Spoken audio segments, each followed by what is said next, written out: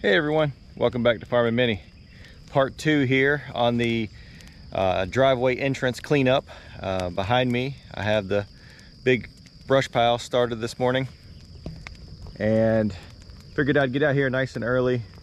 Wind was nice and calm. Um, this is green wood. This is just straight cut from the right there at the road front and it's it's trying to get started. But we're gonna get back out here I'm gonna head back up to the front.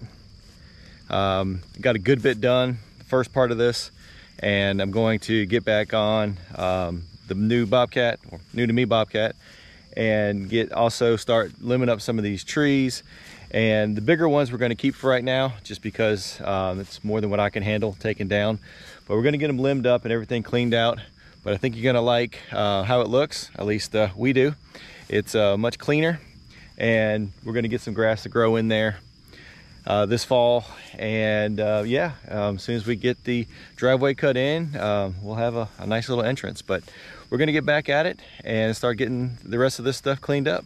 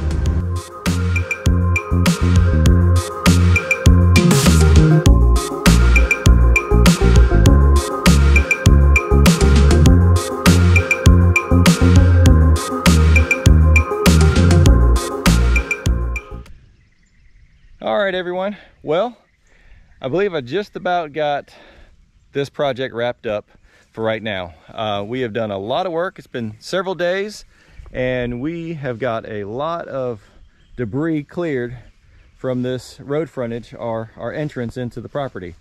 Uh, looks a lot different than it did when we when we first got started, but we chipped away at it and uh, we're super excited about how this looks. This is going to be a much um, nicer, more appealing entrance into our property.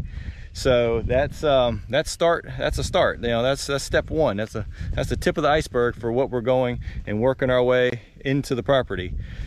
But um, so we got a few more things. You know, we got a pile of dirt here. We've still got our little little wire pile and a few other little stumps that we're gonna have to work out of here um, and some other little cleanup. But um, but this is a lot of this is a big step. Um, you know again we're just working our way in and once we get a driveway and a home site cleared um, you know we're going to start start rocking and rolling with some projects around here. So uh, we're hoping you guys will, will follow along. Um, we're hoping you guys uh, you know like these videos um, subscribe to our channel and follow our journey.